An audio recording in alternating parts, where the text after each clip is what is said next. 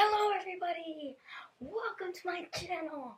My very first video and I cannot wait to begin. Oh boy.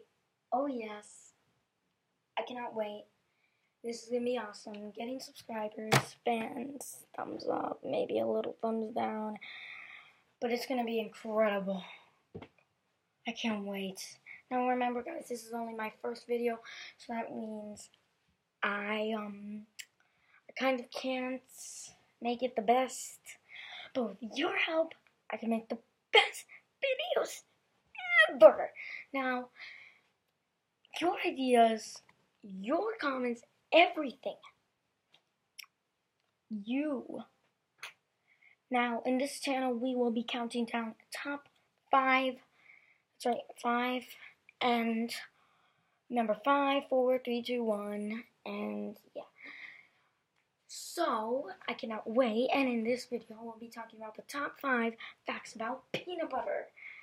Who loves peanut butter? Raise your hands. I love it. So anyway, let's get right on to the making of the video. Number 5. Two peanut farmers have been elected President of the United States of America, Thomas Jefferson, Thomas Jefferson and Jimmy Carter. Hmm. So, who knew it? Thomas Jefferson, Thomas and Jimmy used to be peanut farmers. Wow. Look at them growing their own peanuts. I did not know that. That's kind of cool. Do you know it? Anyway, number four.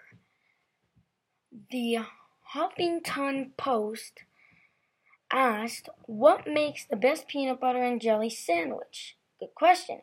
We say, hmm, we say results show 36% say strawberry jam is favorite. Favorite favorite bread is white bread. Wow, that's not very healthy. Favorite type of peanut butter is smooth and a whooping 80% like their PB and J with the crust left on the sandwich. Wow. The crust left on the sandwich. So basically they're saying Wow, they're saying that um that's the best that's the ingredient for the best sandwich. So I guess you should think of making a sandwich like that. I'm definitely gonna try that. Hmm. Who knows? Maybe it'll work. Okay, number three. The average peanut farm is 100 acres. Wow, that's, that's a lot to take in. It's, oh. Wow. Incredible, right? And I thought that the average peanut farm is it's not really. It's just. Hmm. It's kind of incredible. I thought peanut farm, it doesn't matter what size, really. Okay, number two. By law, any product labeled peanut butter in the United States must be at least 90% peanuts. Okay, so that means, um, kind of means that if I had a peanut butter and jelly sandwich in a can, it would have to be 90% peanuts. Wow. So why don't you go on the store or something and look at the peanut butter um, jars? Mm-hmm. Pretty cool. Number one. Alright guys, we have already made it to number one of my very first video. Wow. Getting ready.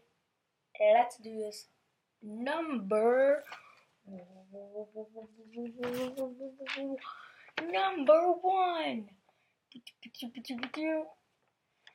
Number one. You might find this shocking.